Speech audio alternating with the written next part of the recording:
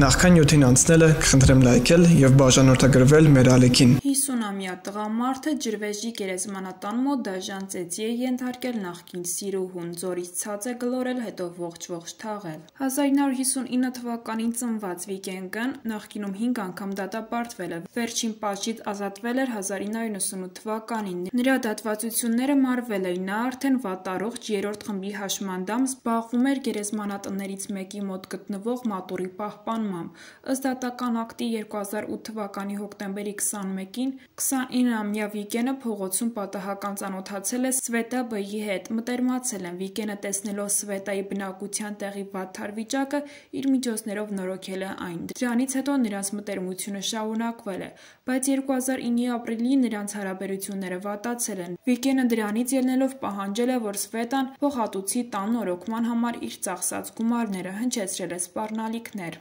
2009 թվականի մայիսին ըստ մեղադրանքի Սվետան եւ նրա դուստրը արգելել են Վիկենին իրենց տուն այցելել։ Վիկենը ըստ մեղադրանքի դրանից ավելի է վրթովվել։ Մայիսին ժամը 12-ի սահմաններում իրենց փոխհարաբերությունները բարձելու առաջարկով Վիկենը Սվետայի հետ հեռախոսով պայմանավորվել է հանդիպելու եւ իր գազ 24 մեքենայով Սվետային տարել է դեպի ջրվեժի գերեզմանատուն։ Ճանապարհին նրանք վիճել են, երբ հասել են գերեզմանատուն եւ իջել են մեքենայից, Վիկենը ըստ մեղադրանքի սպանության դիտա մտավորությամբ սկսել է հարվածներ հասցնել Սվետային։ Պատճառել է գանգի թաղի եւ հիմի ոսկորների կոտրվածքներ, արինազեղումներ ուղեղանյութում, գլխուղեղի փափուկ թաղանթներում, քթոսկրի կոտրվածք եւ այլ վնասվածքներ ապա ըստ մեղադրանքի Վիգենը հրել Սվետային գցել է հարակից դորը։ Ընկնելուց Սվետան նոր վնասվածքներ է ստացել, բայց դեռ ողջ է եղել։ Ըստ մեղադրանքի կատարված հանցանքը թաքցնելու դիտավորությամբ Վիգենը չմահացած Սվետայի մարմինը ծածկել է հողով, առաջացնելով հողի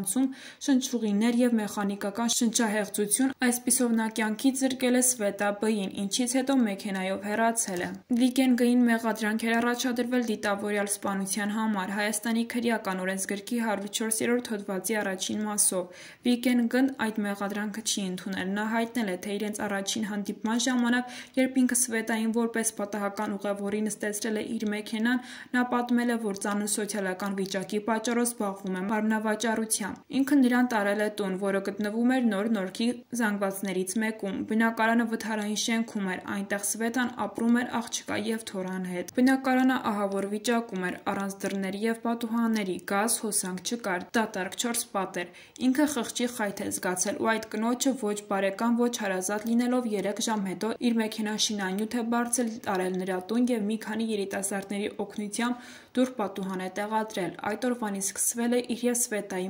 մտերմությունը։ Ինտիմ կապ է առաջացել, ինքը բազմիցս այցելել է նրա տուն, նրա ընտանիքին բազմիցս օգնել է, հետագայում ինքը եւ Սվետան վիճել են, բայց ինքը շարունակել է նրա հետ ընկերություն անել, դարձյալ օգնել է տարբեր հարցերում։ 2009 թվականի հունվարի 4-ին նրանց տուն աստիճաններով բարձրանալիս լսել է Սվետայի եւ նրա դստեր խոսակցությունը։ Դուստրը մորը նախատում էր, թե նա ինչու աշխատանքի, այսինքն մարմնավաճառության դուրս չի գալիս։ Սվետան էլ ասում էր, թե դրա պատճառը ինքն է իբրև։ Ինքը զայրացած մտել է նրանց տուն եւ ապտակել է Սվետային ասելով, որ մոռանա իրեն, այլևս չանհանգստացնի։ Հունվարի 7-ին իրեն հրավիրել են ոստիկանությունին։ Ինքը տեսել է Սվետայի ձեռքով գրված բողոք, իբր ինքը ահաբեկում է, պահանջում է վերադարձնել բնակարանի նորոգման համար իր ծախսած գումարները։ Ինքը ոստիկանությունում ասել է, թե նման պահանջ Սվետայից չունի։ Հունվարի 10-ին ինքը ինֆարկտ է տարել։ Սվետան եկել է հիվանդանոց, խնդրել է ներել։ Ապրիլին Սվետան զանգել է իրեն, ասել է, թե հիվանդ է, պարտքեր ունի։ Պարտատերերը հանգիստ չեն տալիս։ Մայիսի 8-ին ինքը գնացել է նրան տեսնելու, բայց նրա աղջիկը պահանջել է, որ ինքը նրանց չանհանգստացնի,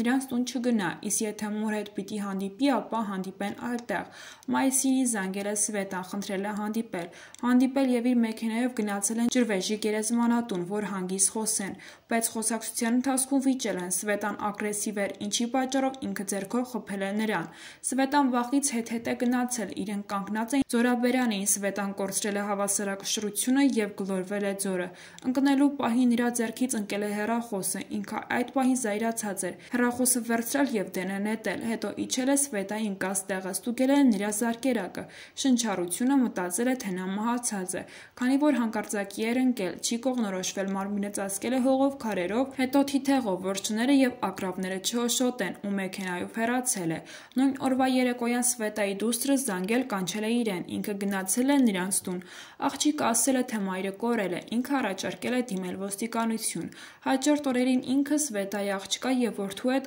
տարբեր վայրերում փնտրել է Սվետային, բայց իհարկե ապարդյուն։ Ինքն իրեն շատ վատ էր զգում, բայց իրականությունը Սվետայի երեխաներին չի ասել։ Մայիսի 18-ին իրեն հրավիրել են ոստիկանություն։ Այնտեղ ինքը խոստովանել է կատարվածը, ցույց է տվել դիակի տեղը։ Վիկենգն զղջացել է, միևնույն ժամանակ պնդել է, որ իր արարքը դիտավորյալ սպանություն չի եղել։ Սվետայի մարմնական վնասվածքներ առաջացել են նրա ձորն ընկնելու հետևանքով։ Ինքը սխալմա մտածել է, թե նա մահացած է, ծածկել է հողով, վրան քարեր է լցրել, որոնցից էլ հավանաբար առաջացել է վնասվածքների մի մասը։ Սվետայի մայրը հայտնել է, թե իմացել է, որ Սվետան ընկերություն է անում Վիգենի հետ։ Վերջինս նորոգել է աղջկա բնակարանը բայց հետո Վիկենը սկսել է պահանջել նորոգման վրա ծախսած գումարները։ Պահանջել է 220 հազար դրամ եւ սպառնացել է սպանել աղջկան, եթե նա այդ գումարը չտա։